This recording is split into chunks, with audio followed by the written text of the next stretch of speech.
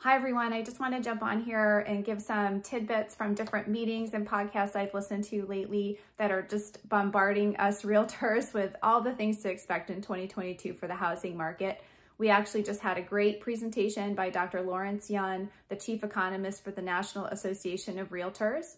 And these are some of the finer points that I've been hearing across all the different areas that I've been listening to.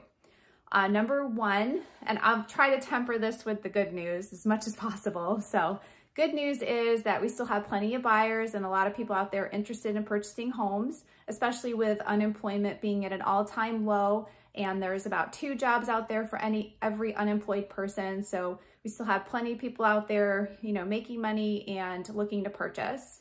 More good news is that hopefully we'll have more inventory this year. Many of the reports are expecting to have an increase in the selection out there, which can really help out some of you buyers that have been not, not been able to find what you've been looking for.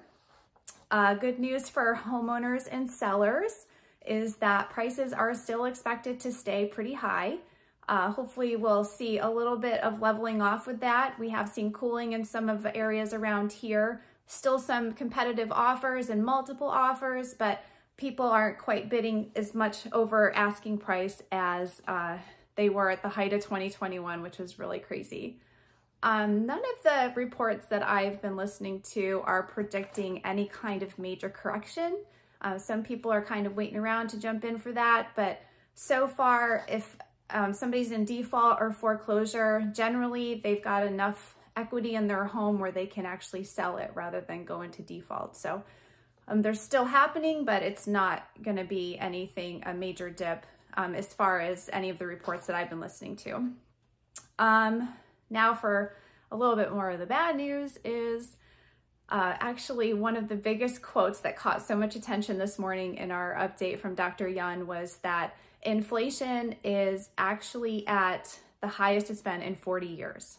And basically the days of 3% or less, uh, under 3% interest rates for mortgages are done. So we are already over 3% here in the beginning of 2022. One report I heard expects there to be about four rate hikes throughout the year.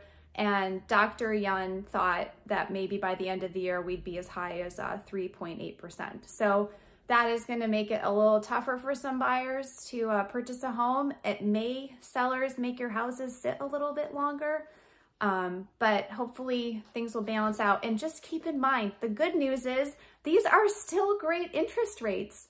Every meeting I go to is talks about way back when, when they were, is 18% for a mortgage. So uh, I don't balk at these interest rates. They're still low. They're lower than they were four years ago. So they're still really great rates. Um, I, I will mention that if you are in the market for a second home, those rates have actually jumped a lot, like astronomically. So if you're thinking about that, give me a call. I'll connect you with a great lender. Um, you can ask all the questions that you need. But if you're an investor thinking about buying a second home, they're, yeah, those rates have definitely uh, gone up quite a bit.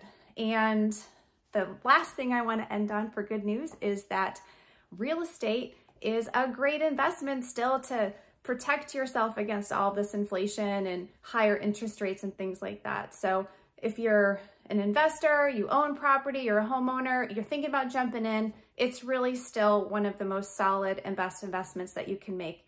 So if you have any questions about this or you want to know more information, just please reach out to me. I You can message me here or you can email me at fawn at teamregency.com.